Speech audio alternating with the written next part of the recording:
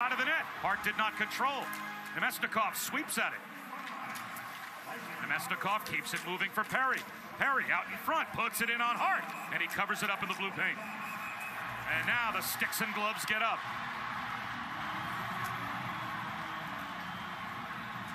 Everybody grab a partner. Uh, it looks like Braun and Perry, at the very least, are going to drop the gloves and go.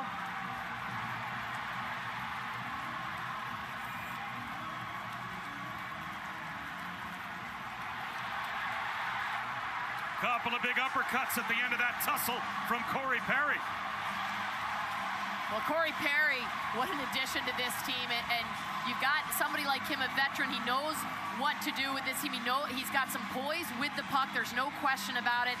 He's right in front of the net. He, he eludes the defenders, finds himself all alone. Instead of shooting it, he, he shows some slippery hands. Keep an eye on him, number 10. He is very slippery. He, he knows how to agitate, but he's got a great stick, and then he gets in there.